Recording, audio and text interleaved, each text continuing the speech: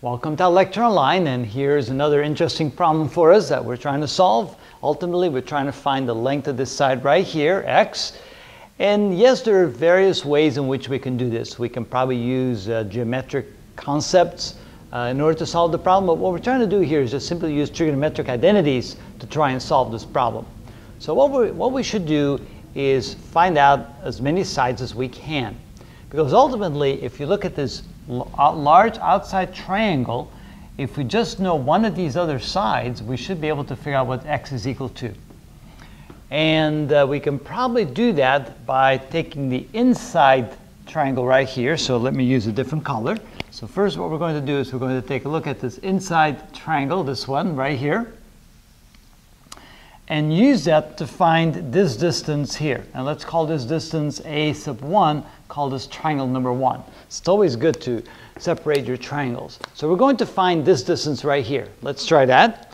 And so when we're looking at that, we're looking at this angle right here. This is the hypotenuse because it's opposite to the, to the right triangle. This is the adjacent side here. So we're actually looking for the hypotenuse. So maybe I'll write that down, equals to h1.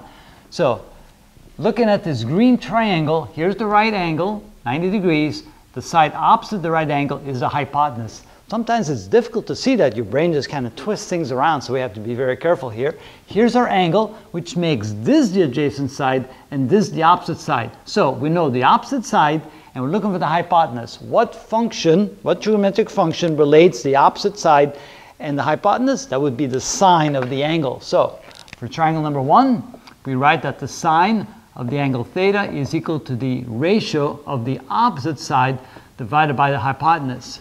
And since we're looking for the hypotenuse, this would be h1, h1 equals the ratio of the opposite side to the sine of theta. All right, now all we have to do is plug in the numbers that we know. So we know the opposite side, which is 10. So h1 equals 10 divided by the sine of theta. That would in this case be the sine of 30 degrees. Now the sine of 30 degrees is equal to 1 half. So that means h1 equals 10 divided by 1 half. Divided by 1 half is the same as multiplying times 2. So h1 equals 20. All right. So this equals 20. Now, let's take a look at the outside triangle. Let me use a, a different color. And so now looking at the outside triangle like this. So that's triangle number two. That's the red triangle.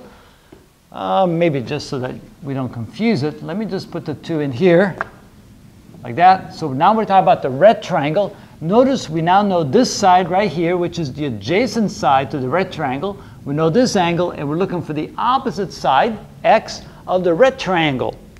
Okay, what geometric function relates the opposite side and the adjacent side to the angle? That would be the tangent of theta. So in this case, for triangle number two, we're going to use the equation, the tangent of theta is equal to the ratio of the opposite side divided by the adjacent side. All right, and in this case, we're looking for the opposite side. X is the opposite side, and the adjacent side is known, that is equal to 20. So here we can say that the tangent and the angle would here would be 30 degrees is equal to the opposite side, which is x, divided by the adjacent side, which is 20. In this case, we're looking for x, so we'll rearrange that equation. So we have x is equal to 20 times the tangent of 30 degrees. So x is equal to 20 times, at this point, we're going to need a calculator. So we have 30, take the tangent of that, which is 0.577, so 0.577. And so therefore x is equal to that times 20. And we get, let me try that again. 30, take the tangent, times 20 equals, so it would be 11.55 and that's the final answer we're looking for. So notice sometimes it's very confusing, especially when the angle is small, to see which is the hypotenuse, which is the adjacent side, which is the opposite side. It helps to use your colors. It helps to do the labeling. So when we're talking about triangle number one, we're looking for this side right here. Since this is opposite to the right angle of the green triangle, that therefore is the hypotenuse.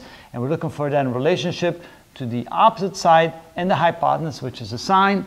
Using the red triangle here like this, we have the angle right here. We're looking for the opposite side to the angle, and we know this side right here, which is the adjacent side. So we're looking for a function that relates the opposite and adjacent side, which of course is the tangent of theta. And that's the way you work yourself through these problems. It's not always quite obvious how to start. There's multiple ways of doing this kind of problem. You can find other solutions to that, but hey, this is one and it works. So let's say that that's how we do it.